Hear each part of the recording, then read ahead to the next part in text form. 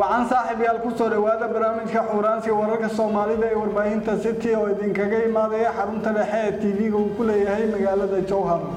Barnaamijka waxaa idinla socodsiinaya anigoo raaga xasan cumar ah qodobada aad ku maqli doontaanna waxaa qayb ka noqonaya ciidamada ammaanka dowladda soomaaliya oo kala dhex galay maleeshiyaad ku dagaalamayay gobolka gado wasaaradda gargaarka oo raashin geersiisay deegaano ka tirsan gobolka hiiraan ee maamulka hirshabeelle iyo wasaaradda arrimaha dibadda soomaaliya oo fatay safaaradaheeda caalamka ku yaalla in ay qorshayaal lagu horumarinayo safaaradaha si ay la yimaadaan.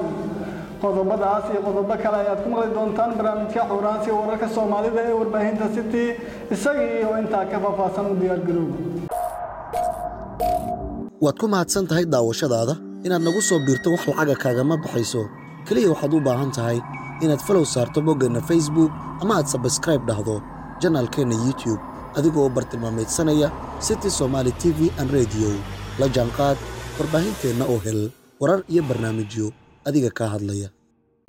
Ciidamada ammaanka dowladda soomaaliya ayaa kala dhex galay maleeshiyaad ku dagaalamayay gobolka gado sida warkani uu inooga soo diray maxamed warneere gobolkaasi ciidamada dowladda soomaaliya ayaa howlgallo kala duwan oo lagu xaqiijinayo ammaanka deegaanada gobolka gado ay ka mid tahay goobaha lagu qabanayo doorashooyinka golaha shacabka ee baarlamaanka soomaaliya. Howlgalka ayaa saraakiisha horkacaysay waxaa hogaaminayay abaandulaha guutada tobanaad qeybta afartan saddexaad ee gobolka gado gaashaanla sare cismaan sheekh cabdi qorax oo ay weheliyaan gudoomiyaha arrimaha bulshada gobolka ibraahim madoobe gudoomiyaha degmada tolow maxamed xuseen cabdi lafi maamulada geedweyne iyo boholgaras howlgalka ayaa intuu socday ciidamada waxay ku guuleysteen inay xaliyaan shaqaqooyin dhanka dhulbeereedka ah oo dhex maray dad walaalo ah oo wada degajiinka webiga jubba saraakiishan ayaa kulmo ay la qaateen waxgaradka uqaasha beelaha walaalaha ah ee fuqu maxamed iyo gabaweyn ee degan deegaanada waqooyi bari ee webiga jubba ayaa la isku afgartay in si hoosa loo xaliyo waxyaabaha la kala tabanayo si looga baaqsado gacanka hadal dhex mara labada beelood wasaaradda gargaarka xukuumadda federaalk soomaaliya ayaa deeq raashin ah geersiisay deegaano hoostaga gobolka hiiraan ee maamulka hirshabeelle sida warkani uu ku sii ambaqaaday cumar guux wasaaradda gargaarka iyo maareynta musiibooyinka xukuumadda federaalk soomaaliya oo kaashanaysa guddiga gurmadka abaaraha ayaa gargaar loogu talagalay dadka ay abaaruhu ku saameeyeen. Deegaanada ka tirsan dowlad goboleedka hirshabeelle gaar ahaana gobolka hiiraan gaarsiiyey. Xubno ka mid a wasaaradda gargaarka iyo maareynta musiibooyinka xukuumadda federaalk soomaaliya ayaa qayb ka ahaa gargaarkan la gaarsiinayey dadkaasi abaartu ay ku saameysay deegaanada dhowrka ah ee dowlad goboleedka hirshabeelle gaar ahaana gobolkiisa hiiraan. Wasiirka wasaaradda gargaarka xukuumadda federaalk soomaaliya marwo khadiijo maxamed diiriye ayaa sheegtay in gargaarkan ay gaarsiiyeen dadka ay abaaraha ku saameeyeen deegaanada gobolka hiiraan ee maamulka hirshabeelle waxaan uga mahadcelinayaa sida ay sahayda gargaar u gaarsiiyeen dadkii ugu nuglaa ee ay abaartu ku saameysay gobolka hiiraan. Ayay tiri wasiir khadiijo maxamed diriye. Dhinaca kale wasiir khadiijo ayaa sheegtay in qaybinta raashiinkan ay iska kaashadeen guddiga gurmadka abaaraha. Wasaaradda gargaarka iyo maareynta musiibooyinka xukuumadda jamhuuriyadda federaalk soomaaliya iyo wasaaradda gargaarka maareynta musiibooyinka dowlad goboleedka hirshabeelle qoysaska gargaarkan la gaarsiiyey ayaa gaaraya ku dhowaad lix boqol oo qoys oo ku nool qaybo ka mid ah gobolka hiiraan gaar ahaana deegaanada ay abaaruhu si baan u saameeyeen. Deegaanada gobollada hiiraan iyo sidoo kale shabeellada dhexe ee maamulka hirshabeelle ayaa xilligan waxaa ka jira abaaro sababay in dadka qaarkiis ay ka tagaan deegaanadii ay degganaayeen halka kuwa kalena xaalado kala duwan oo aada u daran ay ku wajahayaan. Cumurka xurbaahinta city.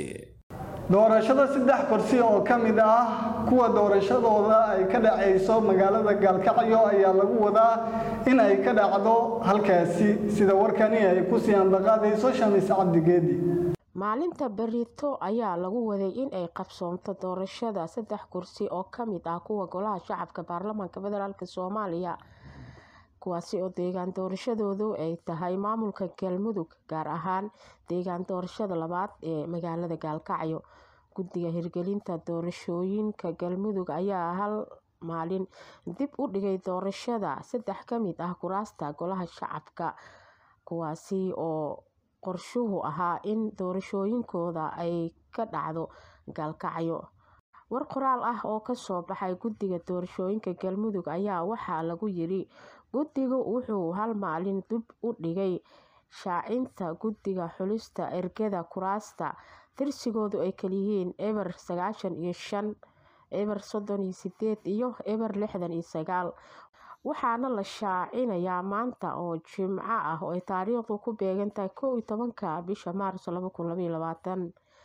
Maalinta berita ah oo ku beegan maalinimo sabti ah ayaa waxaa guddiga uu bilaabi doonaa diiwaangelinta iyo shahaadasiinta musharaxiinta halka laga dhigay qabashada doorashada maalinta axadda oo ay taariikhdu ku beegan tahay saddex iyo tobanka bisha saddexaad laba kun labaiyo labaatan saddexda kursi oo doorashadoodu maalinta axadda ah lagu qabanayo magaalada gaalkacyo ayaa waxaa ugu xasaasisan kursiga tirsigiisu uu yahay eber lixdan iyo sagaal kaasi oo ay ku tartami doonaan wasiirkii hore ee arrimaha gudaha cabdiraxmaan odowaa iyo cabdiraxmaan yuusuf al cadaala shamis cabdigeedi warbaahinta city muqdisho wasaaradda arrimaha dibadda xukuumadda federaalk soomaaliya ayaa fartay safaaradaheeda caalamka ku yaalla in ay la yimaadaan qorshayaal lagu horumarinayo safaaradahaasi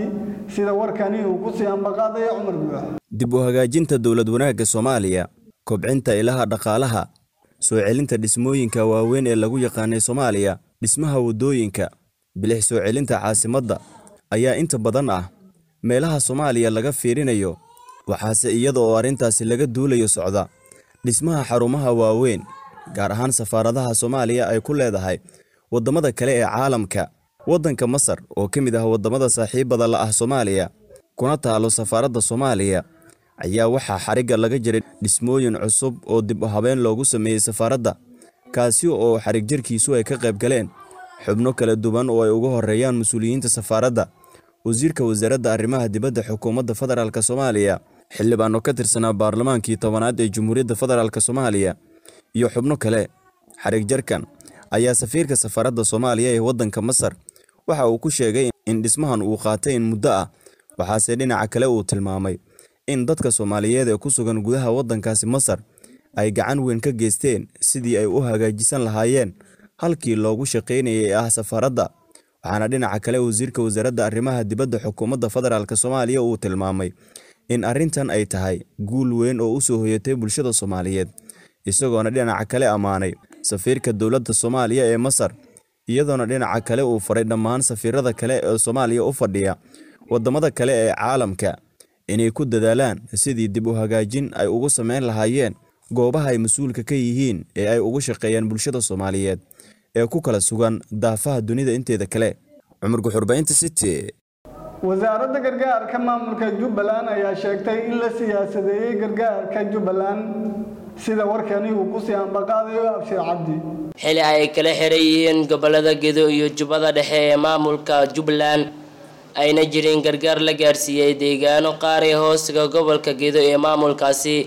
Ayaa waxaa cabasho ay ka soo yeertay wasiirka wasaaradda gargaarka iyo maareynta musiibooyinka dowlad goboleedka jubbaland cabdiraxmaan cabdi axmed wasaaradda gargaarka iyo maareynta musiibooyinka jubbaland ayaa sheegtay in xaaladda siyaasadeed ee gobolka gedo ay saameyn ku yeelatay gurmadkii loogu talagalay dadka ay abaartu saameysay ee ku nool gobolkaasi. Maalintan kitaabka qur'aanka ku dhaaranayna micnaheedu waxay ahayd inaan jubbaland deegaan iyo heer tuula meel walboo joogaan si cadaalad ugu adeegno. Adeega bulshada iyo adeega dowladnimadaba la gaarsiiyo waxaa nasiib darro ah mudane madaxweyne. Maalin walbana welwel iga haysta. Aaqaradeydana aan u cabsado. Dadkii aan u dhaartay ee soomaaliyeed ee reergado inaan maanta tegi karin. Adeeg aan gaadsiin karin. Caruurtii ay abaar u dhammaanayso bulshadii ay rafaadsan yihiin. Niman dana gaar watana ay siyaasadeen aanay u caddayn dhibaatada ummadda haysato. Io ogolaada marka inaan hal tale u jeediyo reer gado.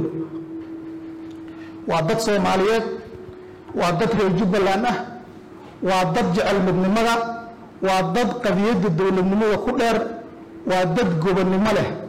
Markaan saalahayna maaha inaan gado ammaanayo ama aan soo jiidanayo? Gado waan ka shaqeeyey.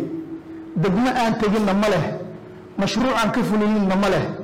Bulshadeedana aan xiriir lal aan lal intaan la fariista aan iswaraysaninna ma jira gobonnimada waan ku ogahay laakiin hal waan u sheegayaa inay aqoonsadaan sharciyaddooda inay halkan taalla danahoodana ay gartaan. Innagana aan fursad u yeelanno inaan dadkii iyo deegaankii aan matalayna tagno baahida la qaybsanno abaaruhu maxaa la dhahay ka shaqayno sidaan uga samata bixin lahayn mashaariicda ay xaq u yeeshaan saddex sanay go-doon yihiin xaqna uma laha. Waxaan xasuusinayaa mudane madaxweyne iyo bulshada jubbaland.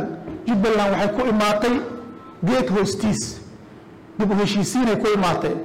Reer bulshada reer jubbaland ee soomaaliyeed su'aalay isweydiiyeen waxay dhaheen war waxaa la qaatay heshiis. Abshir cabdi abshiraysi warbaahinta city guud ahaan saaxiibyaal waxaa intaasi iga eg barnaamijkii xuraansi wararka soomaalida ee warbaahinta city oo idinla socodsiinayay anigoo ah raaga xasan cumar. Dhanka kaamirada waa sakariye soomaal halka uu ka farsamaynayay cumar guux kulankan kulankiisa xiga nabadgelyo